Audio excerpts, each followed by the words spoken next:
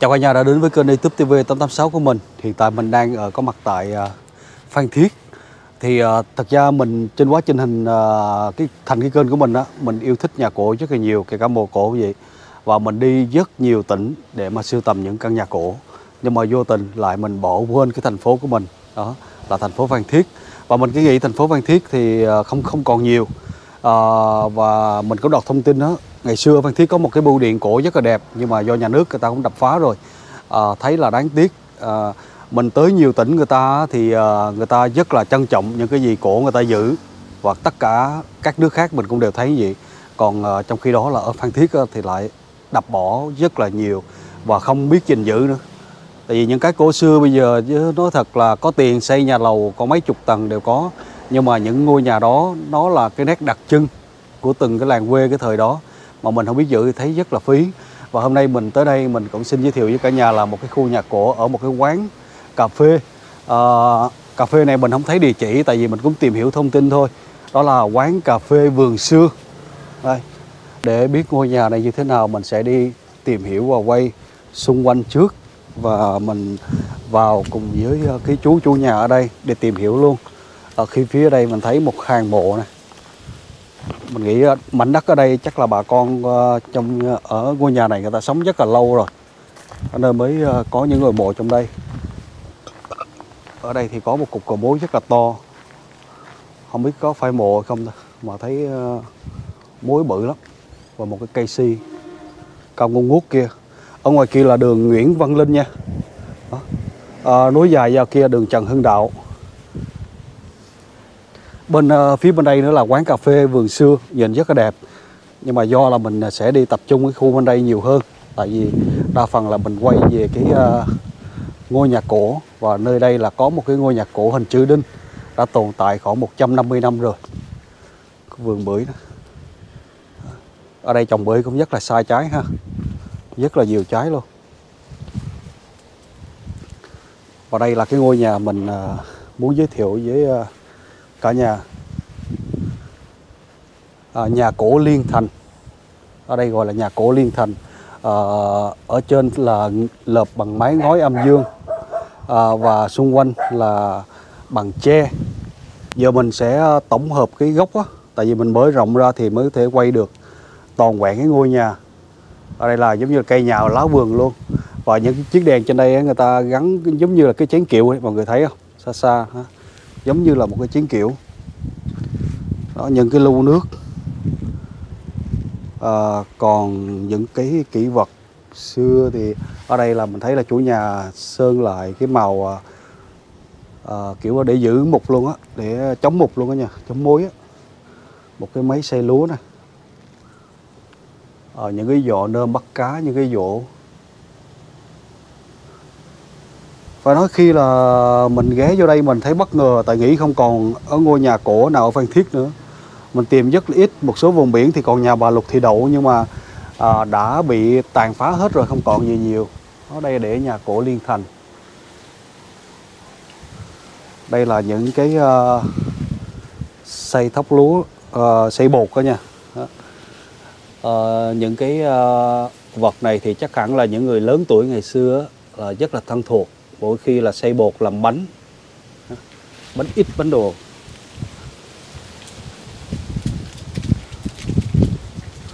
À, đây là một chiếc xe đẩy. Không biết là để đẩy cối hay là để đẩy đồ đó. À, bánh cũng bằng gỗ luôn.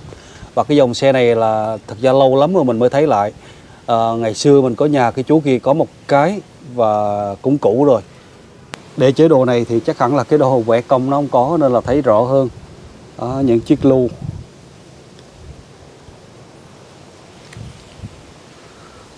và trên đây người ta làm à, bằng sứ chiếc đèn á, giống như cái dĩa cổ vậy đó. Mà không biết phải dĩa cổ không. À, đây là một cái cánh cửa ngang bên hông để đi vào lối phía bên trong. Và những cái bàn ghế đó.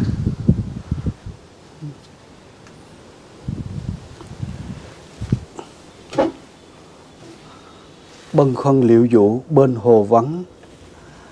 Ngàn hạt tình tìm nhau xếu gọi đàn hay ghê.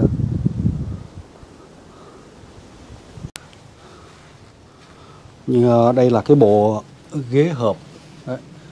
À, những cái bộ ghế này thì sau này à, nhưng mà những bộ ghế gọi là ghế hợp này là à, cũng phải nói cái thời điểm đó khá giả là mà có những cái bộ bàn ghế như thế này Đó. mình cũng đã từng tới một số tiệm đồ cổ thì thấy cũng có nhiều loại lắm và đặc biệt những cái gian nhà cổ rất là thấp luôn à, nhưng mà được cái là khi mà lợp cái ngói âm dương lên á bằng đất á, thì ờ, rất là mát. Và những cánh cửa xung quanh đây cũng vậy là gần như nó thoáng hết. Gió lúc nào cũng tuôn vào cái ngôi nhà làm cho cái không khí nó nó tốt hơn. Rất là mát mẻ. Ở đây là có một chiếc đèn này. đèn này thì ờ, cái thời điểm mà mình lúc nhỏ vẫn còn thấy vẫn còn thấy đám cưới người ta đi mượn đồ cả nhà kể cả đèn măng sông đồ á, ờ, đi mượn để mà thắp. À, à, tại vì mỗi nhà thường thường có một cái thôi mà phải nhà khá giả mới có. Rồi à, đám cưới đám hỏi thì sẽ mượn rất nhiều cây đèn. À, cái à, mái thì mình nghĩ là cái lớp nhà này á, là cái cái nền á nó đã từng hình như là nâng cấp lên một xíu nên là khi mình đứng là nó cũng khúc cái đầu mình luôn ha. Mái ngói âm dương.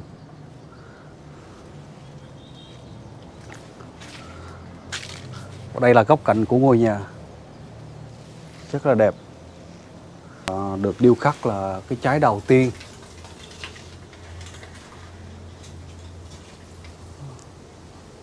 Một trăm năm mươi năm mà cái dàn gỗ phải nói là rất là là còn rất là tốt.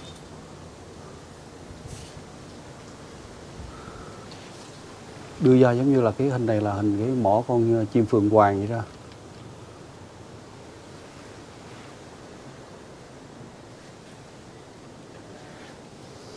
Đây một cái ghế với một cái bàn nhìn kiểu cổ xưa sao? Thì uh, mình cũng xin nói luôn ngôi nhà cổ này là nằm trên đường Nguyễn Văn Linh nha. À, mọi người có thể search trên Google là cái à, quán cà phê vườn xưa trên đường Nguyễn Văn Linh mà từ cái à, đường Trần Hưng Đạo chạy vô à, có thể là tìm ra được cái quán cà phê sẽ nằm bên đây cái khu vực cũng khá là rộng và rất là thoáng trang trí à, những cái gì nó cũng xưa xưa một xíu và những ngôi nhà thế này. Chú nói đây còn mấy căn nữa sau này là mình sẽ tìm tìm cho hết cho bằng được những ngôi nhà cổ ở đây. Chú là cháu đời thứ bảy. Thứ bảy dạ. Là cháu cũng qua tìm hiểu sơ qua là ngôi nhà của mình đó là xây cũng khoảng tầm 150 năm rồi hả chú là ngày xưa là Ờ, cháu ờ. nghe nói là dòng họ của mình là gọi là họ Châu Họ khá là Châu. nổi tiếng một người ở thành phố Phan Thiết luôn ừ. thì thiệt ra thì à, cái nhà này thì cũng chú cũng là con cháu chú giữ đó Dạ. Rồi giờ thì con cháu thì giờ không còn ai Dạ. chú Dạ.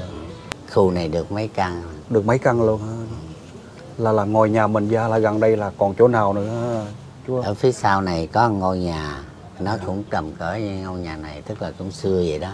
Dạ. À, nhưng mà nhưng mà giờ con cháu người ta cũng bỏ rồi nên nó hư hỏng là, là không ai ở luôn à không ai ở. Thì ờ, rất là đáng tiếc khi mà tìm hiểu ra thì còn cái bưu điện ở chỗ mình đó gần cái chỗ gần cái chỗ cái cầu ấy á, bưu điện ngày xưa rất là đẹp mà bây giờ bị mất rồi. Bưu điện ngày xưa chỗ ngã tư à. Dạ thấy chỗ rất là đẹp tư luôn. có cái bưu điện rất rất là là đẹp. gần cái bồn nước á gần bồn nước lớn á. Thì người ta muốn xây cái khác người ta đập mất cái đó. Nhiều người tiếc lắm. Con con thì tiếc. Ừ. tại vì có thể là thời bây giờ mình có thể làm ra ngôi nhà 90 tầng mấy chục tầng. Ừ. nhưng mà về cổ tích thì nó sẽ không còn. Đúng rồi. Nó mất đi rồi. Cái à, đáng lẽ là muốn xây gì kiếm chỗ khác xây người ta lại đập Đúng cái rồi. cũ ra người ta xây cái mới. Cho nên cái tầm của người ta không có không phải người ta đúng không có không mà có người ta mà người ta cũng không có tâm nữa. Người ta không có tâm chứ không phải có tầm. Chứ cũng không có là- tầm nữa. còn tức thấy- là cái tầm thí dụ như bây giờ người ta có thể xây chỗ nào là không được đấy nhà Dạ. cũ. Cái đó là cái tầm nhìn người ta không có đó. Dạ. Mà cái tâm người ta cũng không có nữa. Thật ra rất đáng tiếc luôn con coi Ừ. cái hình ảnh trời đẹp quá trời luôn. Hôm đó chú đi nghe chú thấy đập rồi có mấy người đi ta cũng đứng đó ta cũng tiếc. Dạ. tiếc. Tại nhà đó đẹp lắm nhìn cho đẹp nó nếu mà giữ lại thì đó là một cái đặc trưng của phan thiết của mình luôn á. Ừ. mà tự nhiên cái ta đập nè. À, cái nhà mình là chữ đinh hả chú. Chữ đinh. Tại bên đây qua rồi có cái nhà chữ ngang. Đinh là cái chữ này nè. Dạ. Đó, chữ Dạ. đinh là chữ này nè. Dạ. Đinh là chữ trên ngang rồi dưới xuống đây nè. Dạ, giống như chữ T vậy đó. À, giống nó như nói giống như chữ T, chữ T nhưng của mà mình. nó không phải là chữ tê nó nghiêng qua một bên chút.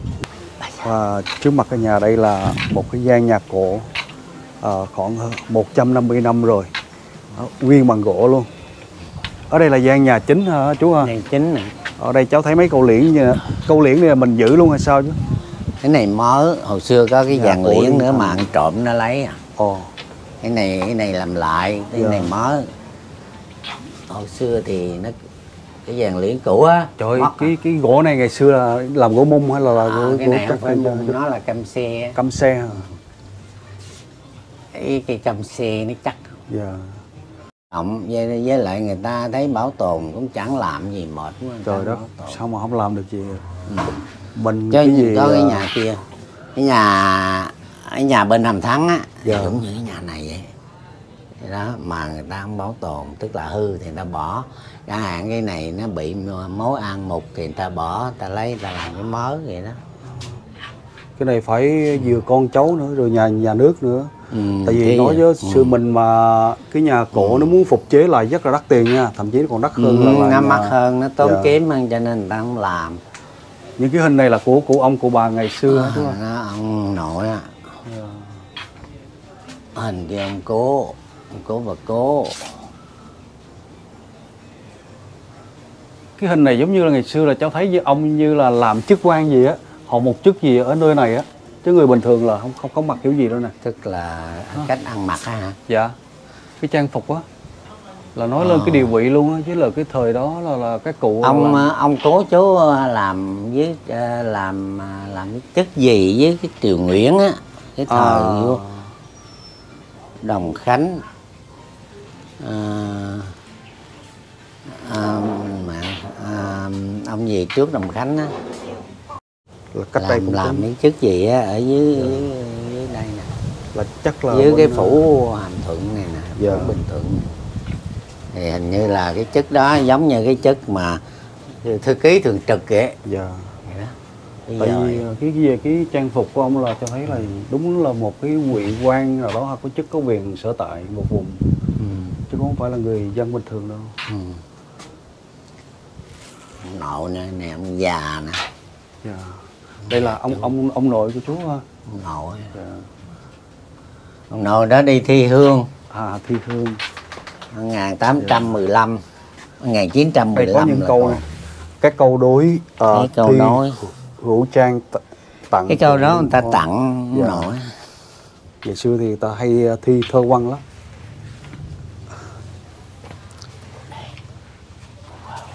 Trời ơi, gian nhà rộng quá chưa Rồi còn một cái khu như thế này nhìn. Cái nhà này nhà sau. Tức Dạ. là cái nhà này là chữ đinh nè rồi Dạ. sau này là phát triển con cháu đông á. Dạ, rồi có thêm. Có thêm nhà sau này. Sau này Trời nhìn cái không gian nhìn đẹp quá chú. Ừ. Nếu mà ai yêu Thì- thích nhà cổ phải nói là ra đây là nhìn ghê thì thì nói chung á là là cái cách ừ, sinh hoạt á. Dạ, như giới sinh hoạt ví dụ như cái nhà sau này cho con cháu ở nhà này thì nó bị chọc con Dạ. cháu lớn lên ở nhà sau đó à, rồi à, cái nước mình là nước nông nghiệp thì Dạ. cái nhà thì phải chứa nông nông sản dạ. rồi lúa rồi đó Là cái thời điểm đó lúa là là, lúa bắp đậu là mình cũng nên phải- có một cái nhà dạ. kho lúa chứ, đúng Ừ, nhà Tại vì con đi lúa. ờ, nhiều nhà ngày xưa người ta có một cái nhà kho đó lúa nhà này hồi xưa nó ra tới đây nè rồi Dạ. rồi ngăn ra chứa lúa à, chứa lúa rồi chứa bắp bí rồi đó. Mình mình làm mình về thâu hoạch đem về đó. Phải nói ờ, bất ngờ luôn á. Con ờ, thấy rất là vui tại vì Ừ. do nhiều cái gì- nhà nước không có bảo tồn nhiều nhà người ta bị những cái nhà bị chiến tranh hư hại thì mình không nói. Dạ, còn những cái nhà người ta nghèo á với lại người ta không muốn bảo tồn nữa người ta chia cho con rồi xây nhà mới lên ở sướng hơn mát mẻ thì nói chung là thoáng đãng cũng hơn. có một lý do chính đáng cả. Cũng có một nhiều người thì người ta còn cái nhà không, à, không còn cái gì hết. Vậy đó. Cái nhà này hồi đó cái mái ra đây nè nó ra còn hàng cột đây nữa này còn cái này thì gạch này nè cái loại gạch này còn cái này chú làm lại. Dạ. chứ không có gạch cũ này phải làm gạch mới vậy đó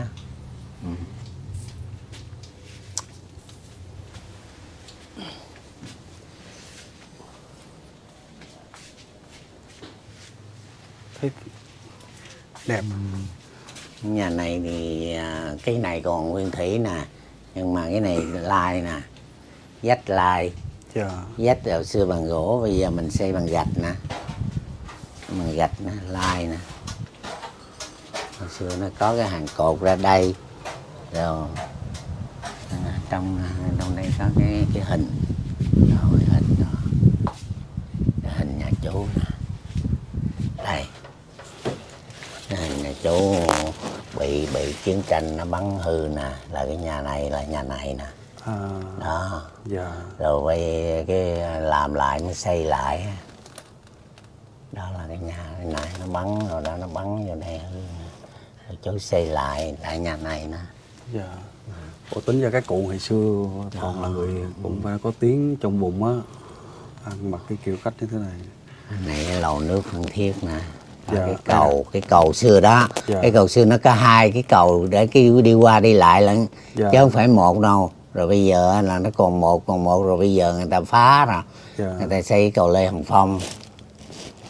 Cầu lê hồng phong những cái tấm ảnh này chụp chắc cũng lâu lắm rồi. Lâu lâu đâu mấy người này cũng mất hết rồi mấy ông chị rồi. Trường phan bộc châu nè. Dạ bộc châu hồi mới xây trăm năm mươi mốt gì đó năm mươi năm mốt.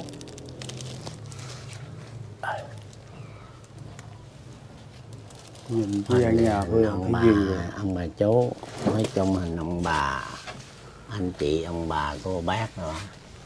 Trong đây có tấm hình nào của chú còn lúc nhỏ không chú? Chú còn nhỏ hả? Dạ. Nè chú nè. À, hồi đó người ta đi chụp hình à, để làm sổ gia đình á. Dạ. À, hết nhà ra để à, chụp là kỷ niệm luôn ha. Ờ. chú đang cầm cái bảng ra đúng không? Ờ, cầm bạn đó. Một cậu bé ngày xưa là bây giờ là bao nhiêu năm? Bảy chục năm mà. Dạ. Sao mấy năm? Giờ nhìn cái tấm hình này lại chú còn nhớ kỷ niệm không? Nhớ của chứ. ờ, ông bà gia đình Ông của mình. nè, dạ. ông nội nè. Ông nội bà chị nè bà chị nè. Bà già kia bà nội nè dạ. Bà nội với còn cái hình này cũng bị hiểu lâu quá nó bị chóc quá. Tức là hồi thời đó là thời à, thời ngô đình diệm. Dạ. Sao à, ngô đình diệm hay là sao ngô đình diệm vậy á. Thì người ta tới người ta chụp dạ. để làm làm cái cái sổ gia đình á. Tính Là gia danh quản quá lý nhân khẩu á. Một thời là một cậu bé. À, hồi xưa Dạ. hồi đó học chắc lớp ừm, cái này chắc lớp ờ, sáu cũng gì nhỏ à năm lớp Dạ. sáu lớp bảy vậy. Ô, con chó này nó bị mù hay sao rồi chú nó bị mù rồi ờ, tôi thấy con mắt nó đục ngầu già à rồi nó, Dạ. bị mù luôn thấy con mắt đục ngầu luôn à. ờ mắt nó đục nhiều nhà thì người ta bỏ lý do là nhà nước không có hướng Dạ. quản lý cháu thấy nếu có điều kiện người gia đình mình ấy nên giữ lại tại vì nó khan hiếm lắm. Giờ ở chỗ mình nó lại ờ, không có bảo tồn. Cái nhà của chú hồi xưa đó à, không phải đàng hoàng gì đâu bị mất trộm hết rồi.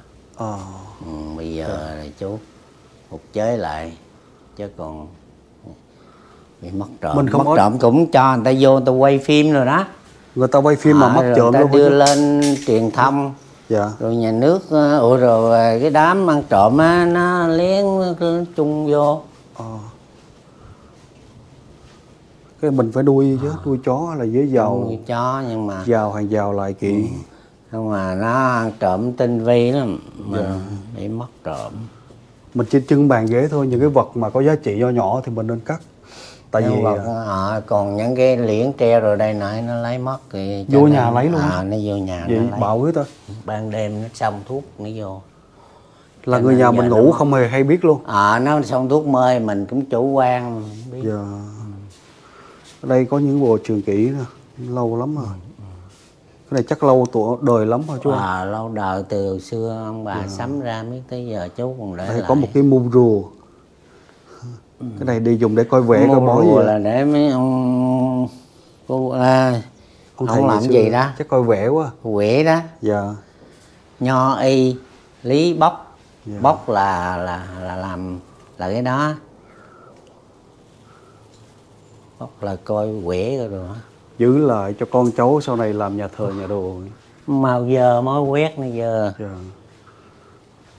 Đây là những cái bàn cổ xưa cũng có một số pha trộn cái mới. Tuy rất lâu năm rồi nhưng mà mình thấy chú là cái con cháu thế hệ đời sau giữ rất còn tươm tác luôn. À, khi về Bình Thuận mình thực sự hơi bất ngờ tại vì mình cũng đi rất nhiều lần rồi.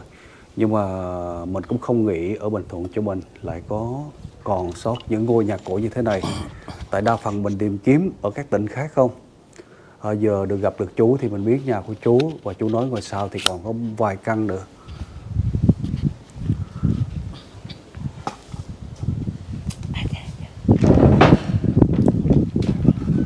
Cũng ờ, rất là cảm ơn và nói rất cảm ơn chú đã cho phép mình vào để quay cho mọi người xem những cái bên trong.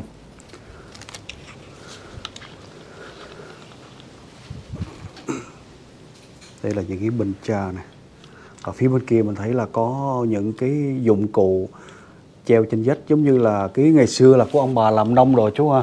Ừ. như là cái cuốc cái gì đúng không chú? Hồi xưa làm cuốc cái diều đó à? Làm nông. Còn ở đây là những cuốn sách những cuốn sách cổ. Cũng ờ, không biết cổ không nhưng mà thấy cũng là khá lâu à một ờ, cái này có Ừ, sách thể đó hồi xưa ông ông nội đi thi học cái đó. Giờ chắc cũng à, không ai đọc được chữ này đâu. Ờ, còn là chữ hán nôm xưa không mà chú ạ. Chữ chữ nôm cho chữ Dạ. hán không à.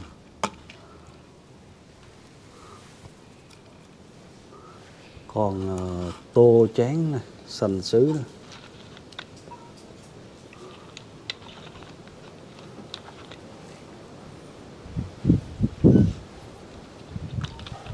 đây thì ờ, có một cái nơi thờ cúng.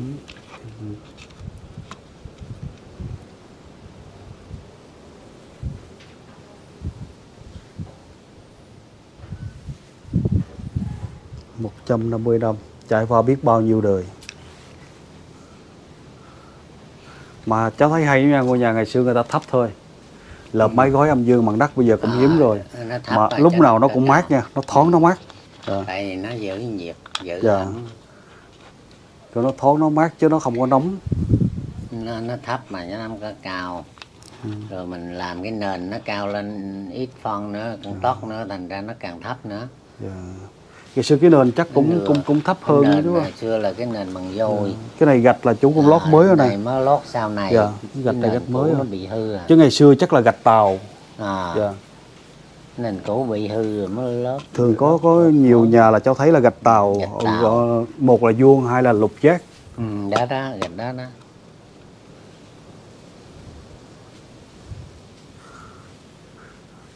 này là cháu nhìn ngôi nhà thôi cháu biết ngày xưa nhà ông là chắc là ke ăn người ở rất là nhiều chứ không phải ít đâu Ừ, Nông. chung cũng ừ.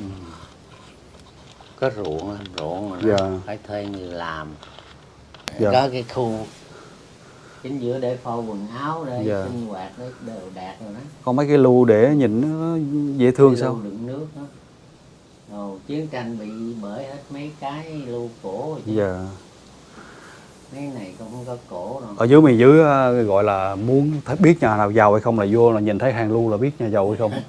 Ờ, hàng lu đi hàng người ta tại vì nước ngọt ngày xưa nó khan hiếm chú và nhà giàu á người ta mới có tiền mua lu sứ mà to to như thế.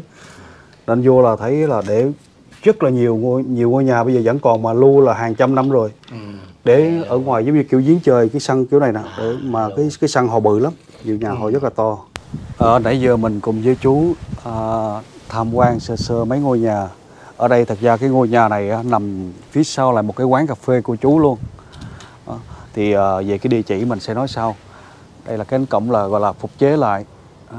quán cà phê nhìn rất là đẹp cả nhà nhìn rất là đẹp và đây là mình đang đứng trước ngôi nhà à, 150 tuổi